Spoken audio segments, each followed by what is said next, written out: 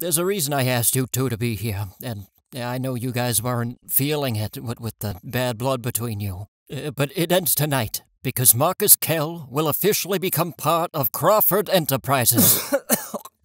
what? Marcus graduated business school, head of his class. No post tech needed. That's just how smart he is.